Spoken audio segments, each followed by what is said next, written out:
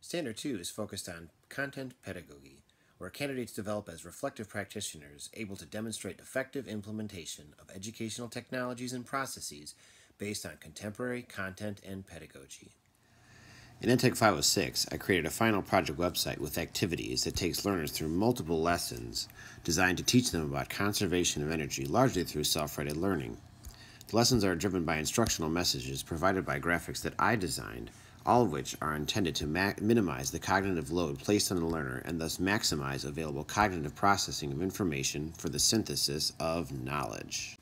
In EdTech 541, I developed an internet-enriched lesson the activities contained in the lesson use a variety of educational technologies to facilitate a flipped classroom approach for learning about wave mechanics and physics.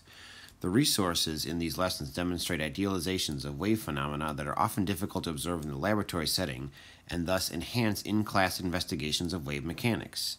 In the process of completing these lessons, learners are required to apply their knowledge to new contexts and applications of the activity objectives.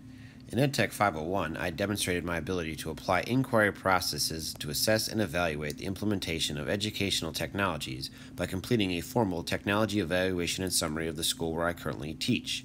I conducted research and met with several stakeholders to complete the evaluation, and in the process, I learned a lot about the immense amount of planning, preparation, funding, and resources involved in developing a comprehensive technology plan. In EdTech 533, I started my own YouTube channel and curated videos to create a playlist lesson. This is done to provide a supportive learning community and create a flexible and diverse learning environment. The playlist lesson can be utilized to foster a flipped classroom approach and also creates a flexible means of remediation to support learners who may struggle with content.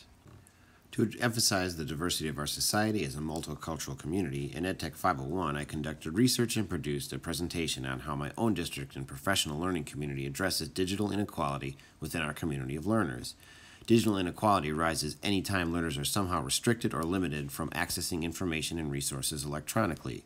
I believe educators have an ethical responsibility to select or design curriculum materials that all learners can access.